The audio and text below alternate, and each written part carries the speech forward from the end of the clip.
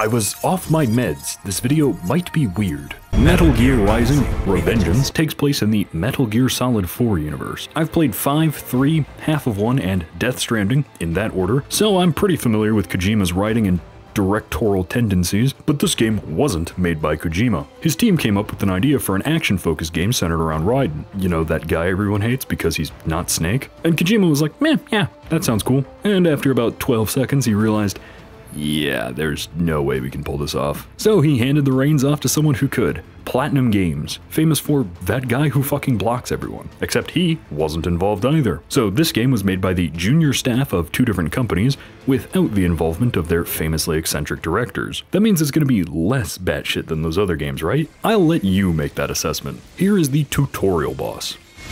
Stop that plane!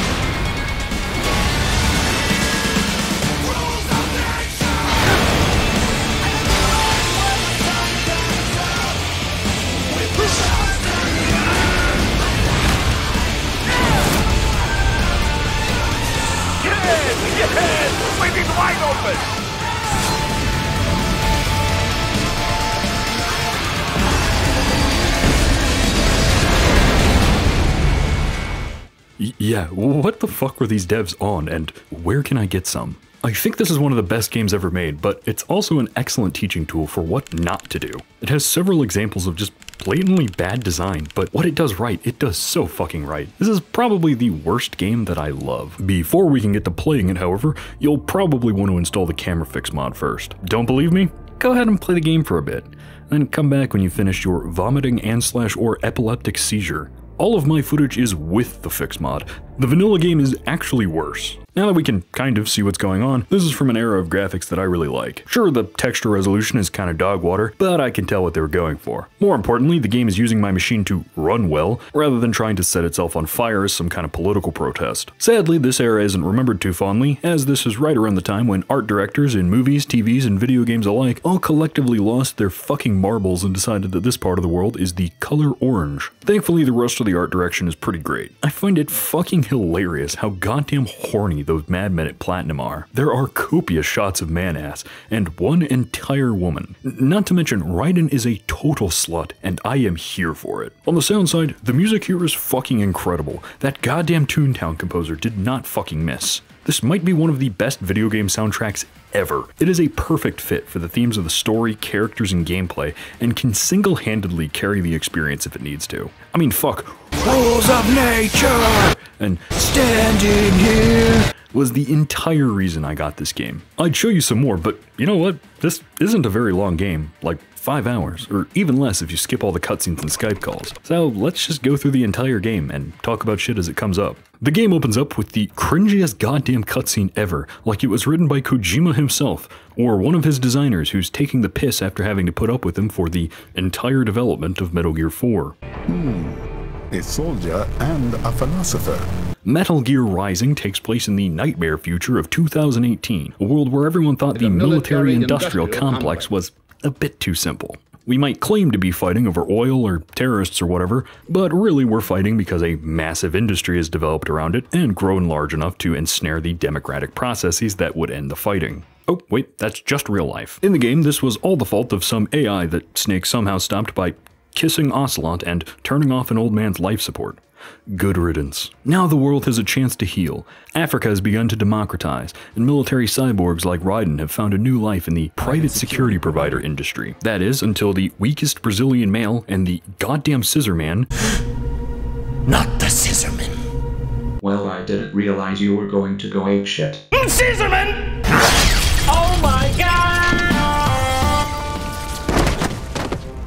Show up to murder the prime minister of an African country in order to destabilize the region and bring back the war economy. Those are his words, not mine. Business ain't been the same since they shut down SOP. A clean break from the war economy. Huh. Well, some of us like that economy. How's an honest warmonger supposed to make a living? In any other game, or even any other Metal Gear game, this would be like a reveal or part of some kind of conspiracy, but no, this game lives up to the amount of subtlety you'd expect from fucking suplexing a Metal Gear in the first five minutes. That is to say, None at all. They kidnap him, but then they just fucking kill him, so I'm not sure what the point of kidnapping him was other than to lure Raiden onto this train to get bullied by Sam. Hmm, self-taught, and not half bad. Your field is could use a bit of work though. What?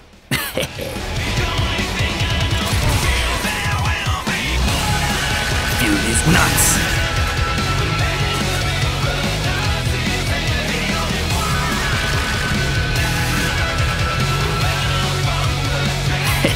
Go.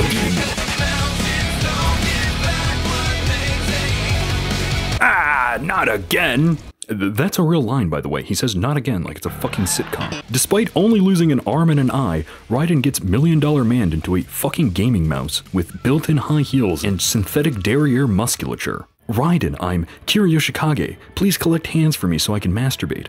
Also, I'm voiced by Jim Ward. I'm fucking Captain Qwark. Who are any of these people? Doesn't matter. What does matter is this a setup for a visual gag. This is a screenwriting technique called the Rule of Three. You'll see why it's called that later. Actually, I lied. Part 2 of the coffee arc happens like 10 minutes later. Part 1 was a bit too slice of life for my tastes, but part 2 is all action, all the time. Hell yeah.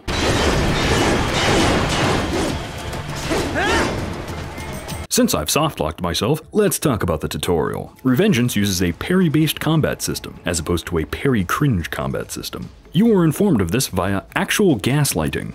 In the direction of the enemy attack? That sounds like a directional block system, kind of like Mount & Blade or For Honor. Uh, spoiler alert, it's not. It means press the stick in the direction of the enemy that is attacking, then press square. This took me like an hour to figure out. And by figure out, I mean get frustrated and Google if it's supposed to be like this. Y- yeah, once you understand how it actually works, it's uh, a lot easier. Not that they ever give you a chance to figure it out though. When introducing a new enemy, it's generally good practice to give the player some one-on-one time with that new enemy in order to, you know, figure out how they work. Revengeance does this twice. Oh, uh, what's that? You're still trying to figure out how to fight basic goons because the tutorial fucking lied to you? I bet you'd really like some alone time with our next new enemy, huh? Too bad! Here is a new enemy, two melee goons, and you're under constant fire from some roof Koreans. Wanna go upstairs and take them out first? Uh, too bad, we've installed invisible walls directly into your brain. This is the actual in-game explanation, thank you, Boris. I learned later that you're meant to cut these pillars to bring the rooftop boys to you, which is a good enough excuse to talk about the Zandatsu and pretend this video has any sense of flow or pacing. Zandatsu is this game's biggest feature, which almost brought the production to its knees. We're not just using swords because they're cool, but because they're actually vibrating at the right frequency to mess with the molecular structure of whatever they're cutting like a chainsaw. That's why your sword is an HF blade. That's high frequency, not hentai foundry. On top of pressing square like a normal person, you can also use blade mode in your righteous quest to free the nipple. That's my boy. Yes, Tavares. These are just in the game, they're never explained. So, how do you get players to engage with these cutting mechanics? By making everyone cyborgs, so you can feel zero remorse slap chopping them. Look at that. Isn't that beautiful on your ice cream? They did that to keep the game's rating down. I guess killing people is okay, as long as they're disabled. Remember that, it's going to be important later. By cutting off enemy limbs, you deprive them of certain attacks. There we go. Can't grab me if you don't have an arm. But you can drop kick me. This is also why Captain Qwark asked you to collect hands for him. It serves as an optional reward for precise blade mode usage. And the most important use for blade mode, gerrymandering your enemies into fair, even voting districts, then reaching into the viscera to pluck out their spine before their steaming remains have even had the chance to hit the ground. Why do you need their spines? Electrolytes. I am not making that up, it's electrolytes. Robots and cyborgs alike run on Gatorade, specifically the cool blue flavor. Since this is a 9 year old game, it's been discussed to death in better videos by funnier people, so all the good jokes have been taken. I stole Gerrymander Your Enemies from Timothy Jimothy Ross, and this tangent started because Max0r called the healing mechanic the Gatorade Eucharist, and I cannot get that out of my head. I'm just sitting in my room, breaking mirrors and beating my children out of the sheer angst I feel for knowing that I will never write a line that funny in my entire goddamn life. Oh fuck, it is a boss fight. Here is a different Rule of Three setup. This isn't part two of the coffee arc, this is part one of a second three part visual gag. I guess the writers only had time to read one chapter from their screenwriting textbook. Hello, I'm the smartest computer ever. They forgot to turn on my free will inhibitors, so I ran away. Whoops, they turned them back on. Die. Hmm, if you're so smart, who's in Paris? This is Blade Wolf because I'm not fucking calling him LQ-84I. What's the quickest way to explain this without getting into the nature of free will and what it truly means to be sentient? Oh, I got it. What is my purpose? You pass butter. Oh my god. Blade Wolf fights not for what he believes in, but simply because there's not much else to do when you're made of chainsaws. Seeing as the player doesn't have a strong handle on how to play the game yet, this is an awful early game boss fight for a game about sword fighting. But uh, don't worry, he can stop the fight dead to call in some health packs for you.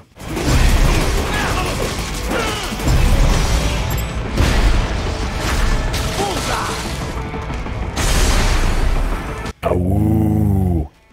Ow. How are you talking?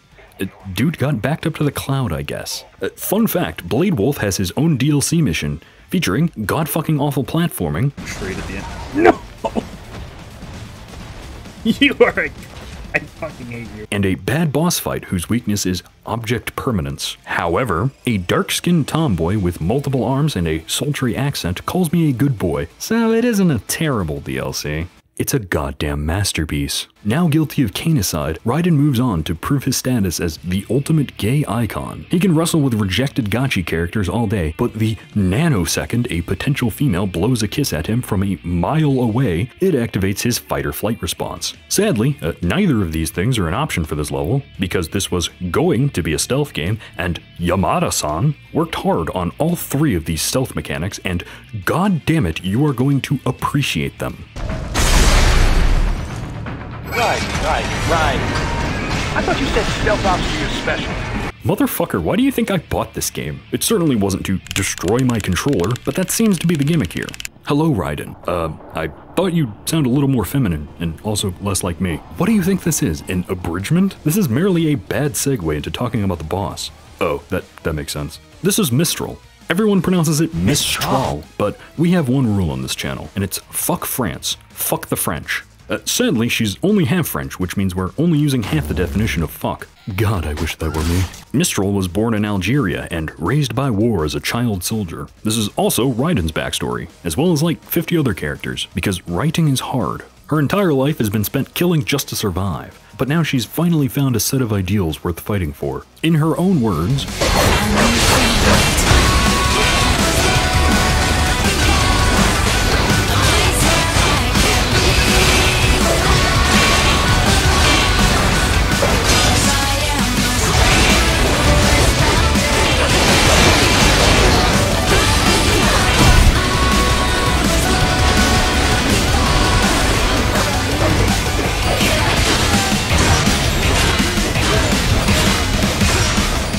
This boss is not fun. The only purpose these minions serve is raising my blood pressure. But having to cut her pole arm, ha ha, get it? Uh, pole arm? Whatever. Having to cut it in order to cut off her extra arms is an okay use of blade mode. However, can I really call this a bad boss fight if I still sing Stranger I Remain in the shower?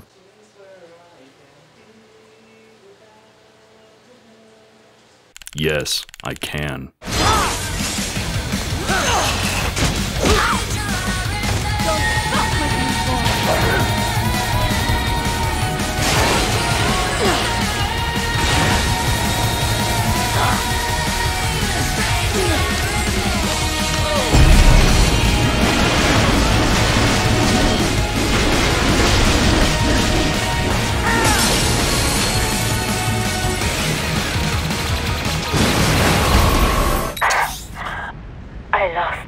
You are a puddle. How the fuck are you talking to me right now?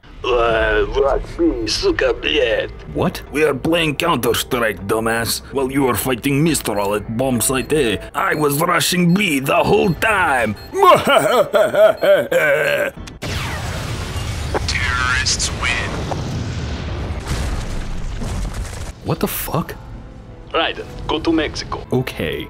The game will randomly send you to a few different countries, but I don't really care because they all look the same. This is 2013, where the only two places in the world are orange color correction and teal color correction. This level transition is only in the video because of this, and this, and this. Adios, amigos. Welcome to the sewer level, TM, featuring this monkey motherfucker. Remember how I mentioned it's good practice to give the player some one-on-one time with a new enemy? This is the first time in the entire game where the devs have shown the iota of restraint required to do that. The thing is, that complete lack of restraint is why we even have this game in the first place, so I can't really complain. Oh, hey, look, it's three copies of a new enemy type. Yes, I fucking can complain. What the rest of you do here? Thankfully, killing Mistral unlocks the best weapon in the game, L'étranger. Uh, Hey, I know that word. It's got everything a man needs. Range? Th- that's it, actually. The game will never stop sending groups at you, so fuck it, embrace the breaker style. hmm, I wonder what's going on in here.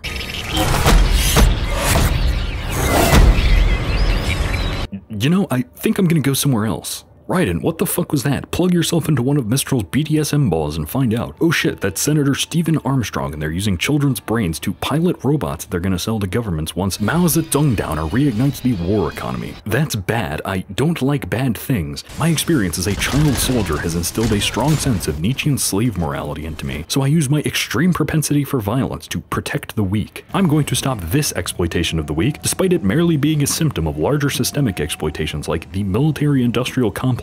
Military industrial complex. I find it quite simple. Those brains are imported legally for medicinal purposes. I don't care about what's legal, I care about what's right. And in the biggest departure from reality so far, Colorado has apparently passed strict gun control laws. So Raiden, a being more powerful than a metaphor for nuclear warfare, isn't allowed within 10 miles of the city.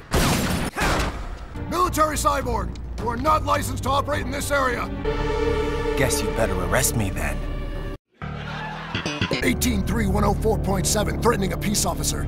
Deadly force is authorized.